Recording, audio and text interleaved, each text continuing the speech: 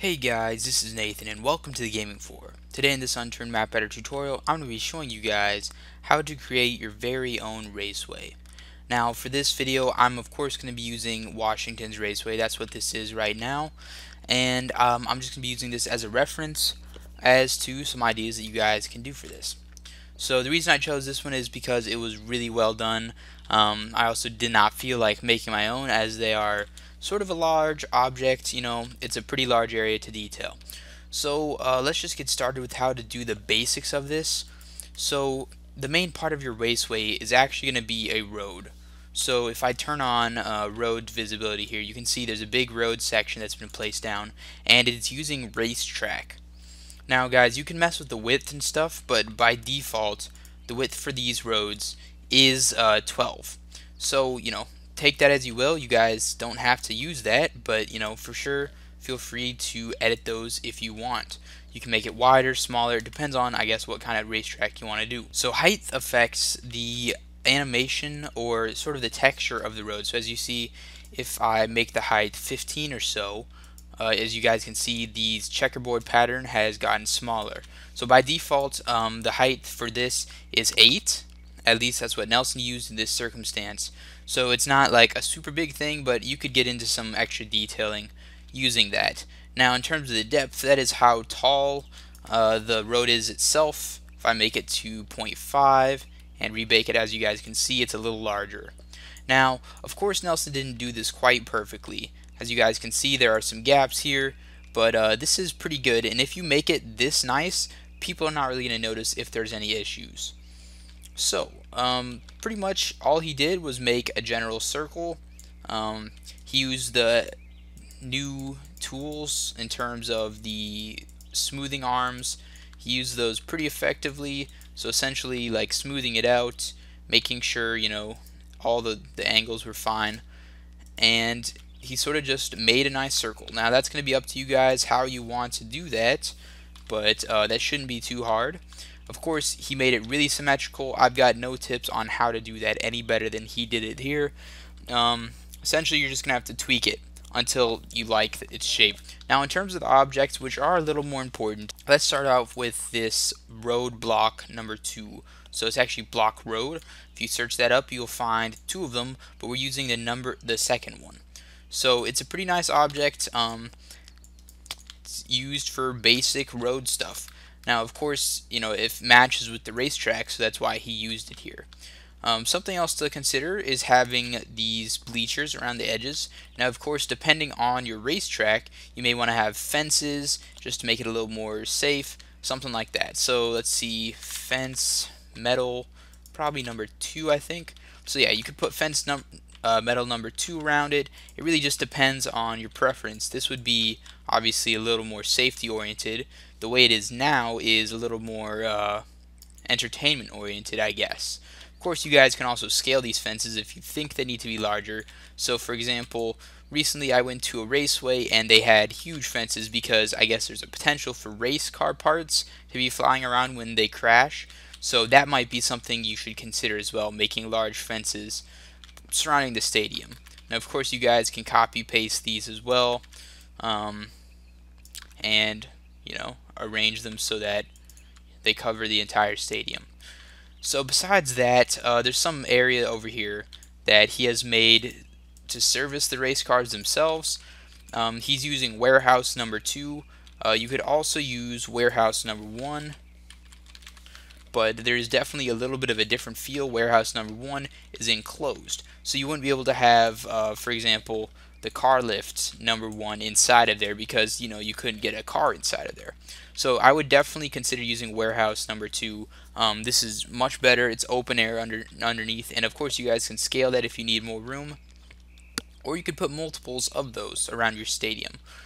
Um, something else he used just to detail, he used barrels obviously, some wheels, crate number 4, shelf number 1. Now he didn't detail on top of these very much, but you could put all sorts of things on there. So in including propane, that would definitely be something good to place around. Uh, you could also put wood pallet or pallet wood I think it is yes pallet wood um, coil Now, coil doesn't exactly make sense uh, just because nothing in a racetrack would use a coil itself. But uh, the thing about coil that makes it that would make it seem like it fits is it sort of just fits the entire construction sort of feel of this area. So definitely make sure you guys have extra wheels. Race cars always go through wheels really fast. Barrels make sense. Um, all three of them, barrel 1, 2, and 3. He's used them all here. Uh, car lift is a good touch. Also, he's using shelf 1 a lot. Make sure you guys put item spawns on here. So that is something he did do. Uh, let's look at visibility. Let's turn item spawns on. Now it's going to be a little spammy here and there. You'll see them in the background. But as you guys can see, he's placed a lot of item spawns in and around these areas. So make sure you do that. Make sure they're also related to um, what's actually going to be here. So let's look at his spawn IDs. But I'm suspecting he's going to have stuff relating to uh, cars and maybe a bit of construction. Yeah, so he put actually construction spawns. You can see the colors matching. So some of the stuff he has in here is like cloth, scraps, nails, um, nail gun magazine apparently, nail gun, construction helmet, work jeans, construction top, sledgehammer saw, all of this stuff. So there's a lot more in here. I would not suggest maybe placing down um, all the construction material here. I would create your own spawn set just for your raceway. It'll make it a little more detailed. The way he does his spawns are a little more broad. Uh, it makes it easier on him because he doesn't have to make so many spawn sets, but then you get like construction shirts in the raceway area, and that doesn't really make sense because why would somebody have a construction shirt in a raceway? I mean, it's not construction happening here, it's racing. So one of the last uh, items that he has here is fuel tank number one. I would definitely suggest having some sort of fuel stop. Now something you could do is use um, gas pump. That would definitely work. Uh, there's also a second type of gas pump. This one's from the Russia map. They both, both work exactly the same, but either way you should have some of these gas pumps somewhere in the map.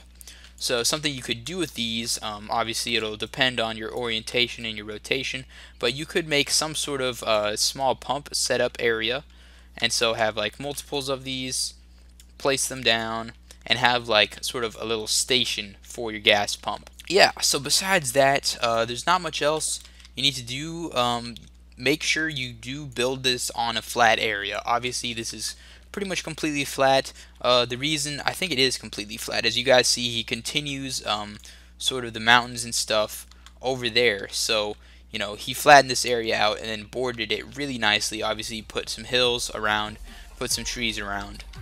So make sure you have it flat and besides that it's pretty much up to you guys so hopefully this gives you a good idea of how to do that I think the main issue you guys were having was with the road itself um, I really can't help you. I don't have any tips with how to place it so perfectly.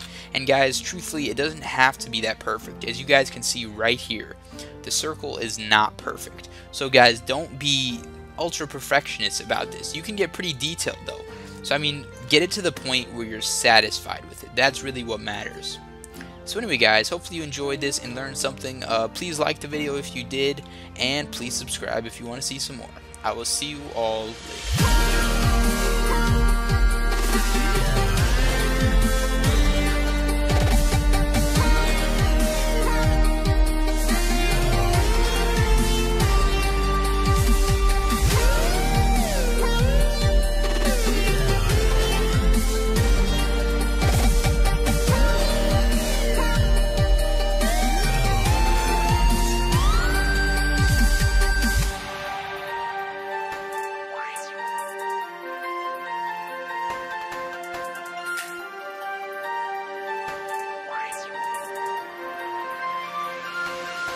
you